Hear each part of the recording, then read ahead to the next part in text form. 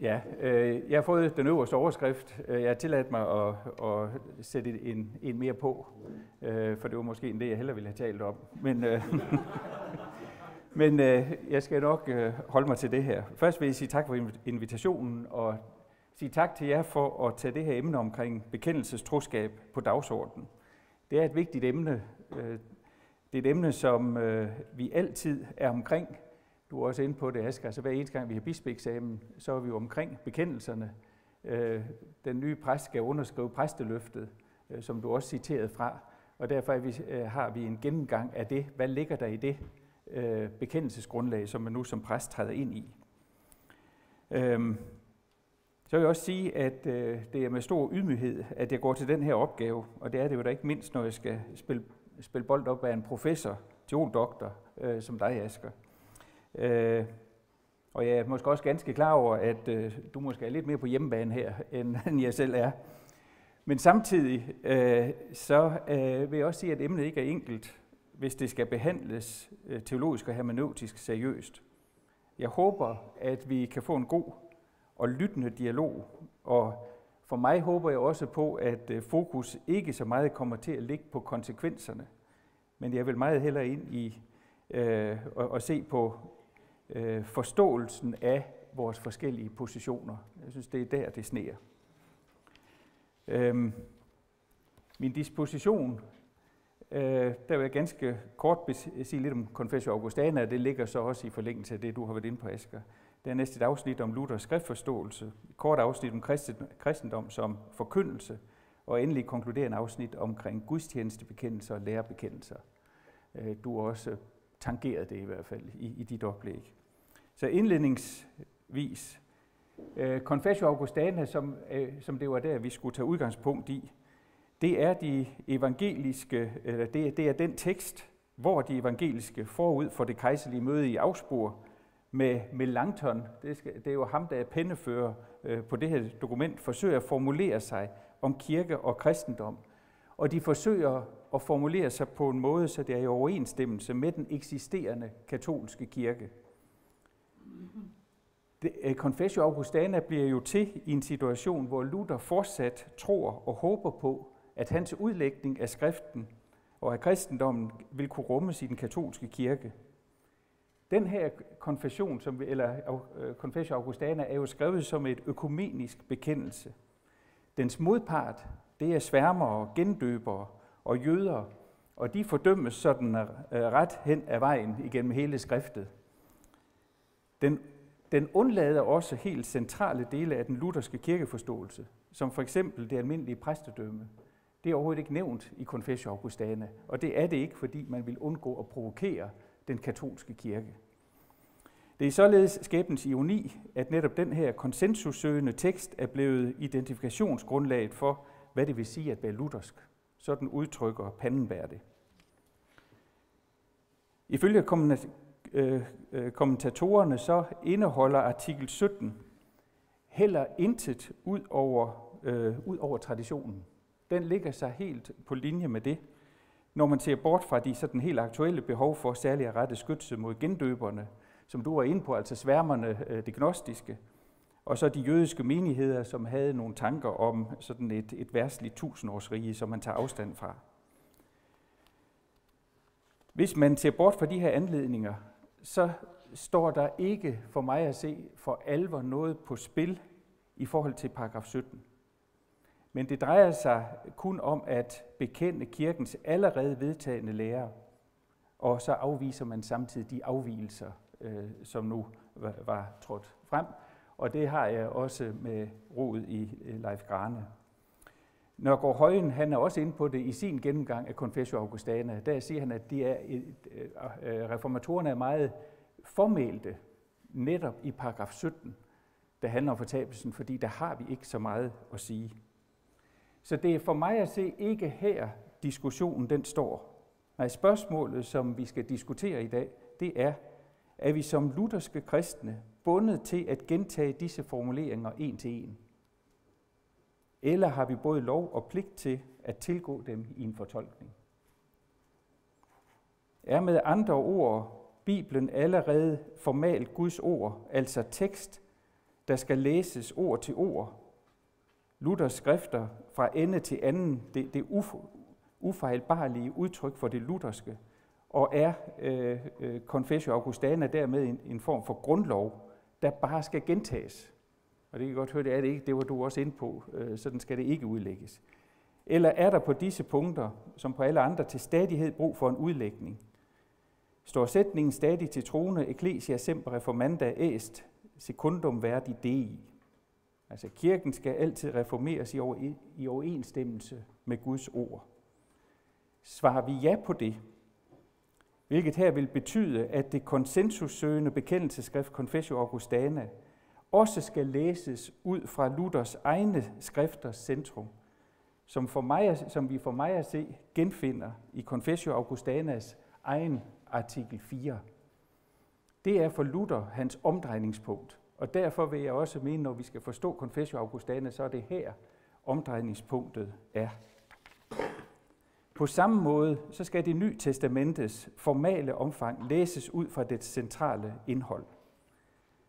Og igen for at støtte mig til øh, Leif Grane, så siger han det sådan her. Bekendelsen, og her er det altså Confessio Augustana, han mener, er selv i fremtrædende grad et stykke kirkepolitik. Og vil man betragte den uafhængig af dens kirkehistoriske betydning og hensigt som et stykke åbenbaring eller næsten åbenbaring, så forråder man straks den sag, som Confessio Augustana ville forsvare. Den er blevet til ud fra den forudsætning, at sådanne autoriteter ikke eksisterer, og den vil ikke selv være en sådan. Men jeg kan følge dig, Asger, langt hen ad vejen. Den er der jo som et udtryk for på kort form, hvad er det, vi læser øh, øh ud, ud af, ud af bib, det, det bibelske, øh, og også hente inspiration fra de tidlige konfessioner. Men, men den vil ikke være en autoritet, der bare skal læres udenad. I så jo også, hvordan Luther, sammen med pavens bandbulle, der brændte han faktisk den kanoniske lov. Så vil jeg gå til Luthers skriftforståelse. Her vil jeg mene, at Luther selv giver svaret, i det han indførte angiveligt uomgængeligt fortolkningsprincip i forhold til de bibelske skrifter. Eksplicit, der beskriver han det i forbindelse med første udgaven af sin oversættelse af det nye testamente fra september 1522. Denne oversættelse til almentalt tysk, den indeholder også en række fortaler til de enkelte bibelske skrifter fra Luthers hånd. Og det er her, at han konkret kommer ind på, at de alle skal måles på, om de har Kristus for øje. Altså det ved vi alle sammen. Om de har Kristus for øje, om de driver på Kristus, som det hedder. Det er målestokken.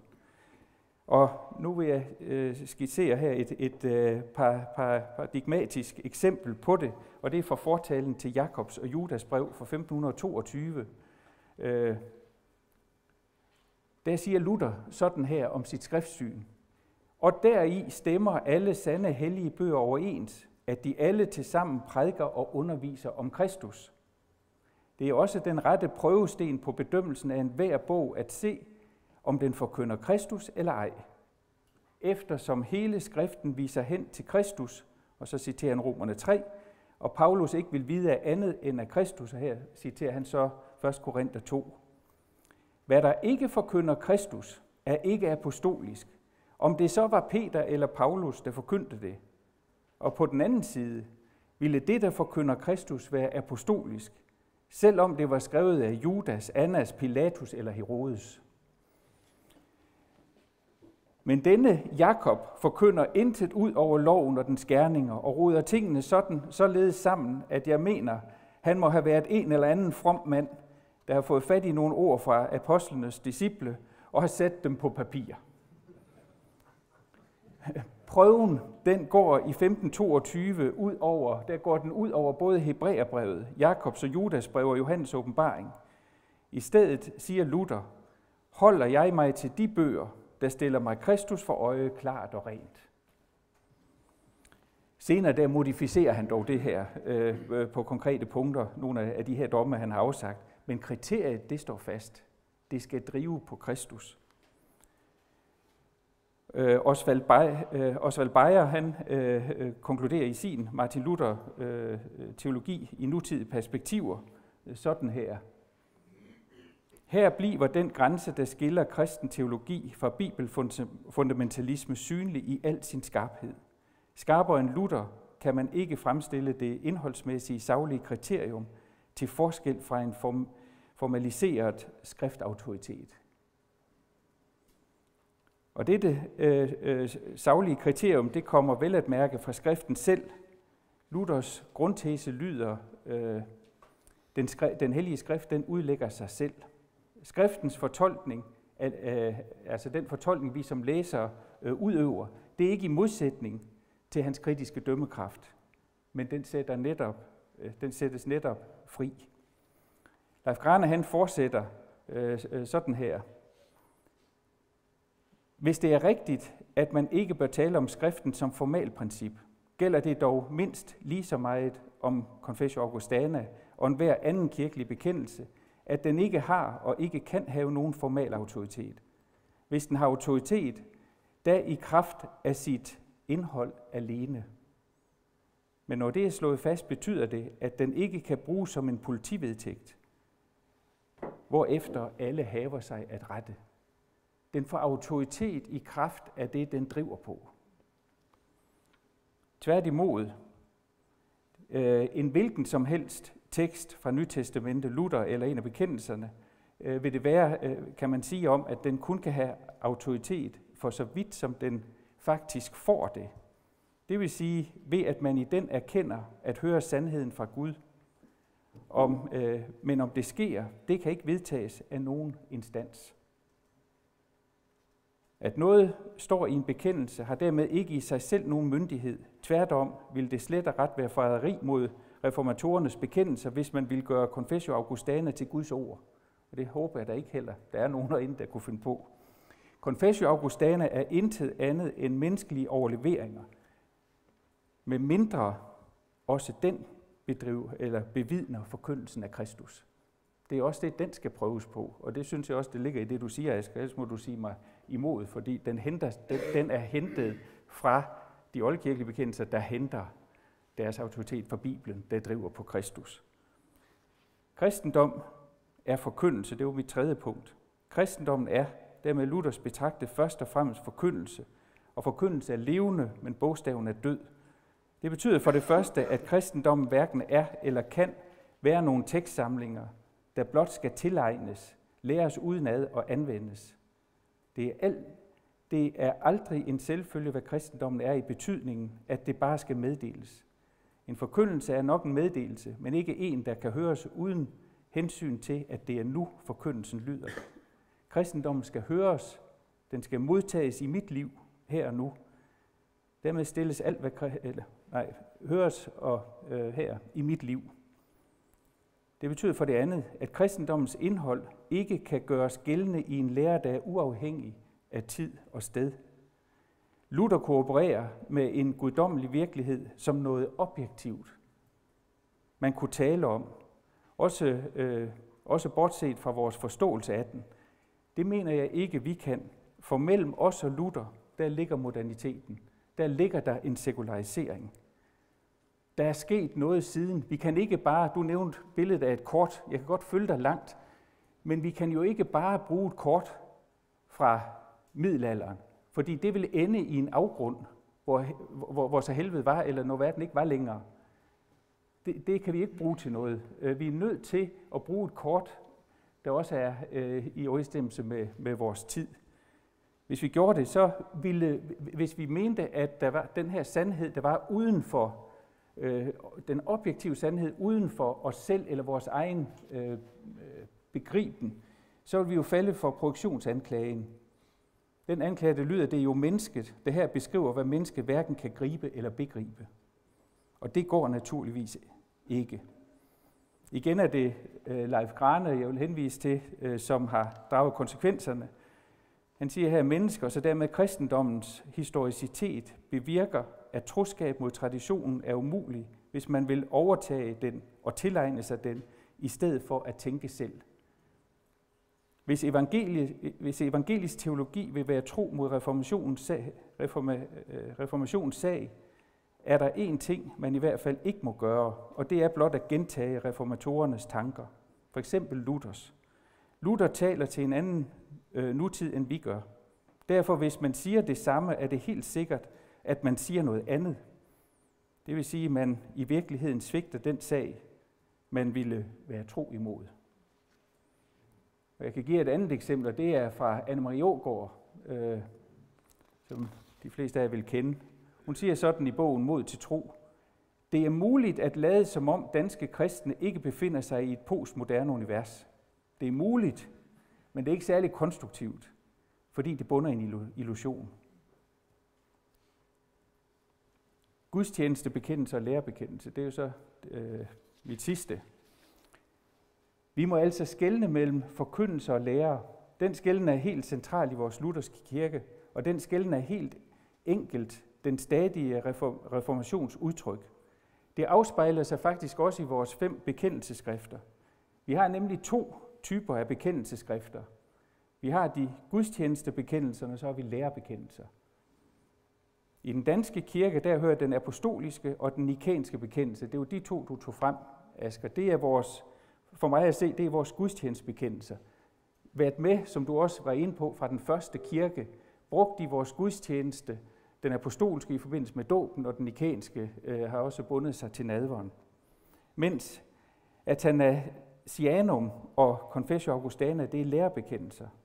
Konsekvensen heraf er, at de to første står i den danske salmebog. Vores gudstjeneste, den, den vi har med til vores gudstjeneste. Det gør de to sidste ikke.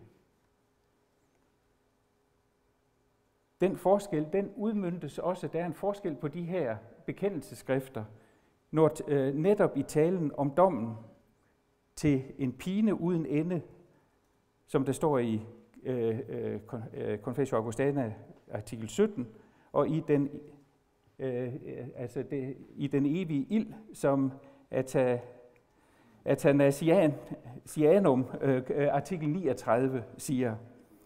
Men hvis I kigger på de gudstjenestlige bekendelser, de to, som Asger tog frem, her i der findes, øh, der, der findes øh, hverken i den ene eller den anden, der slutter de tværtimod med troen på det evige liv i den apostolske, og med øh, troen på den kommende verdens liv i den nikanske. Det er der, de ender. Det betyder ikke, at der ikke tales om fortabelse og dom i forkyndelsen. Tværtimod. Det skal der selvfølgelig tales om. Den kristne prædiken forkynder altid frelsen som en frelse fra en fortabelse. En frelse fra fortabelsen gennem Guds dom.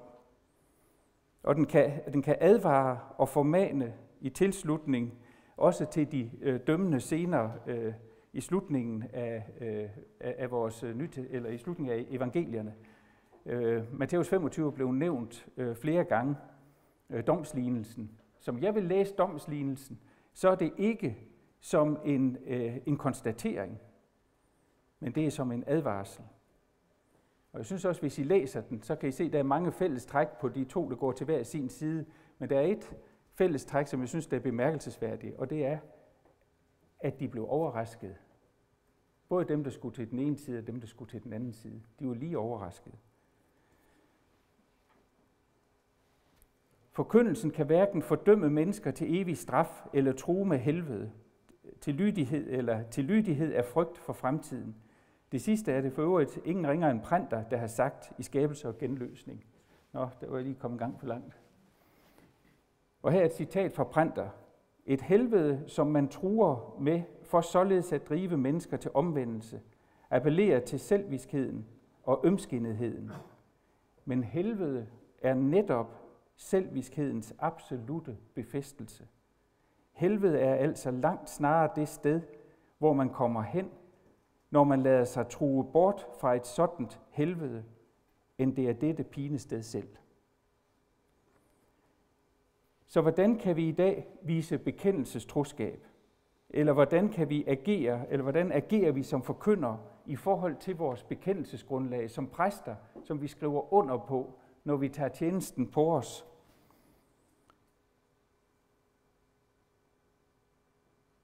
Jo, for mig at se, så øh, må det tages ind i den samlede tolkning af bekendelsernes eskatologi, og det udmyndtes i følgende tre sammenhængende grundperspektiver.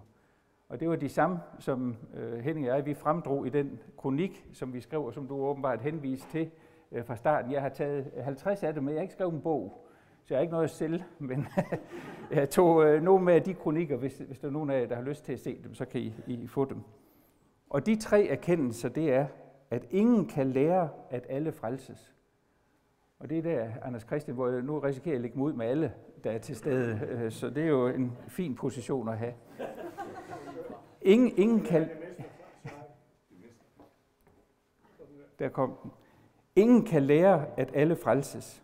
Det ville gøre frelsen. Hvis man lærer det, så mener jeg, at du gør frelsen til en menneskerettighed.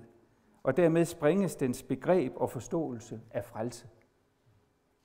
For det andet, ingen kan forkynde, at nogen fortabes. Det ville være at sætte sig i Guds sted og tale på hans vegne. Og for det tredje, ingen kan undlade at håbe, at alle frelses. Alt andet ville afsløre, at jeg ikke troede mig selv frelst. For frelse i en bibelsk forståelse betyder, øh, det vil sige ufortjent retfærdiggjort af hans nåde ved forløsningen i Kristus Jesus, som Paulus siger i Romerbrevet.